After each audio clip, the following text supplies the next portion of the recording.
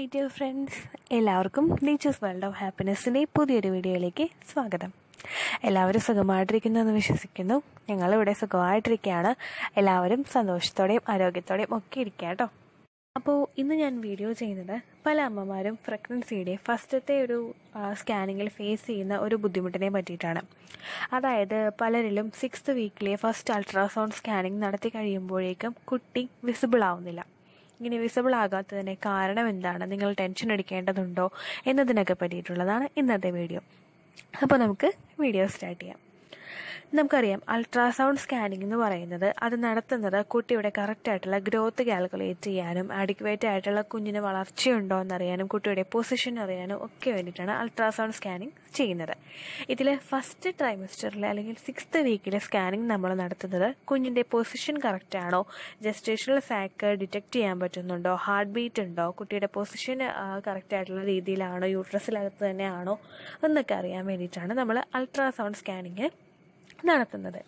പക്ഷേ പലരിലും ഈ അൾട്രാസൗണ്ട് സ്കാനിങ് സിക്സ്ത് വീക്കിൽ നടത്തുമ്പോഴേക്കും എംബ്രിയോ വിസിബിൾ ആവുന്നില്ല അതായത് കുഞ്ഞിനെ കാണാനായിട്ട് പറ്റുന്നില്ല. ഇങ്ങനെ വരുമ്പോഴേക്കും ഒട്ടുമിക്ക കേസുകളിലും അമ്മമാർ തളർന്നു പോകാറുണ്ട്. കാരണം എന്താണെന്ന് വെച്ച് കഴിഞ്ഞാൽ നമ്മൾ പ്രഗ്നന്റ് ആണ് എന്ന് ഡിറ്റക്ട് ചെയ്തിട്ടുണ്ട് ഡോക്ടർ സർട്ടിഫൈ ചെയ്തിട്ടുണ്ട് നിങ്ങൾ ഗർഭിണിയാണെന്ന്.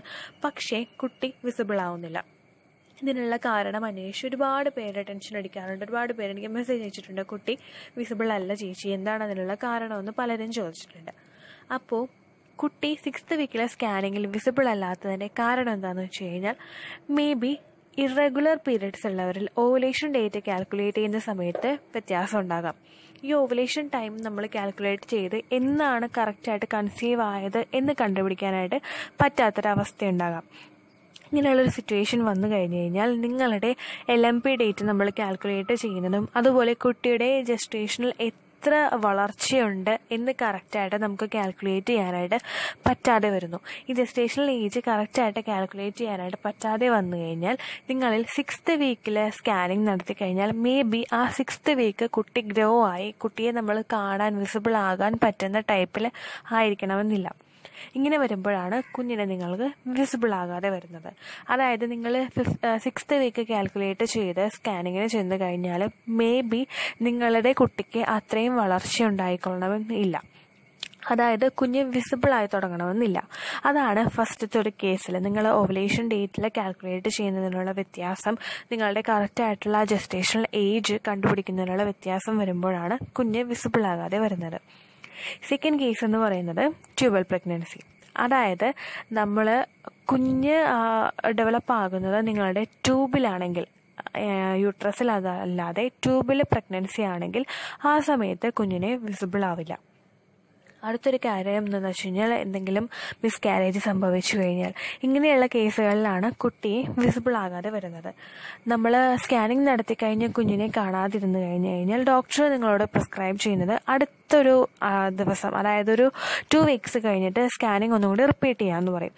അതുപോലെ കുട്ടിയുടെ ഹാർട്ട് ബീറ്റ് ഡിറ്റക്ട് ചെയ്യാനും ഒരു ടു വീക്സ് കഴിഞ്ഞിട്ട് കുഞ്ഞിന്റെ ഹാർട്ട് ബീറ്റ് കിട്ടിയില്ല എങ്കിൽ സിക്സ്ത് വീക്കിലെ ഹാർട്ട് ബീറ്റ് കിട്ടിയില്ല എങ്കിൽ ടു വീക്സ് കഴിഞ്ഞിട്ട് ഒന്നുകൂടി വന്ന് ഹാർട്ട് ബീറ്റ് റിപ്പീറ്റ് ചെയ്യാനായിട്ട് നമുക്ക് സ്കാനിങ് നടത്താനായിട്ട് പറയും.